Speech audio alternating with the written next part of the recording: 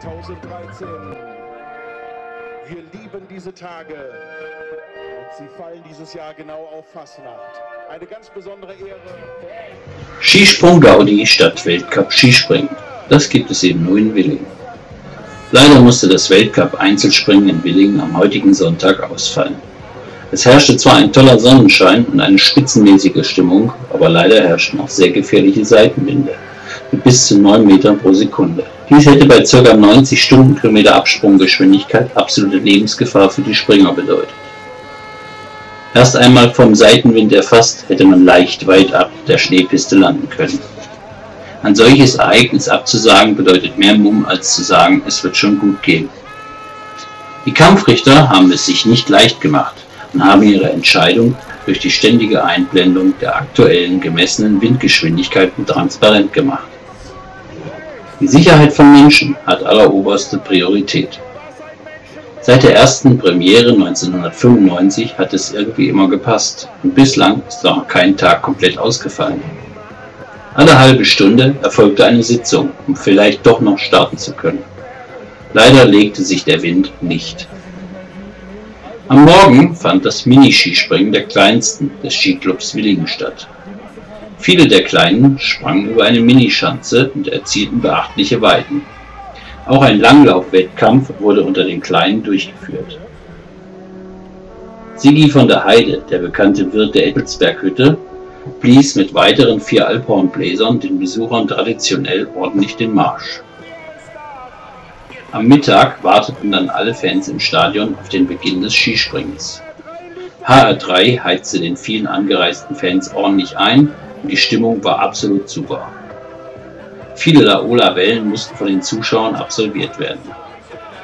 Auch im neben dem Stadion gelegenen Festzelt heizte die Band Müllermeier-Schulze den Gästen ordentlich ein.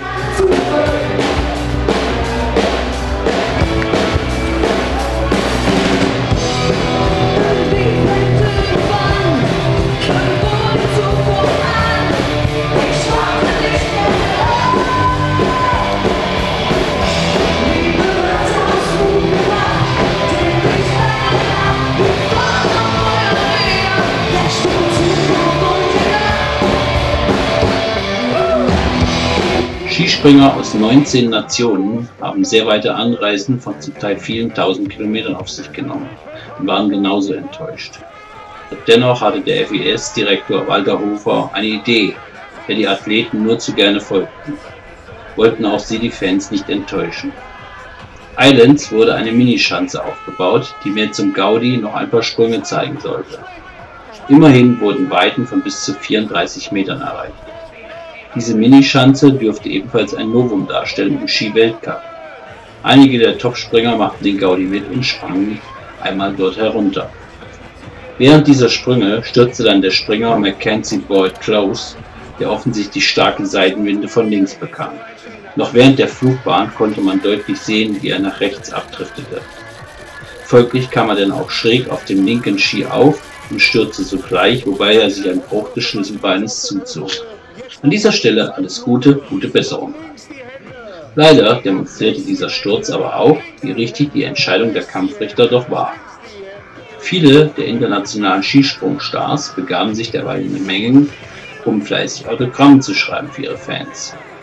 Insgesamt war es trotz des ausgefallenen Skisprings ein toller Tag in einer wirklich guten Stimmung, dank HR3 und den vielen Fans, die mitzogen. Es wird ein Wiedersehen geben im Februar 2014. Da pausiert zwar die Teamtour, aber dennoch wird es einen Weltcup auf der größten Großschanze der Welt geben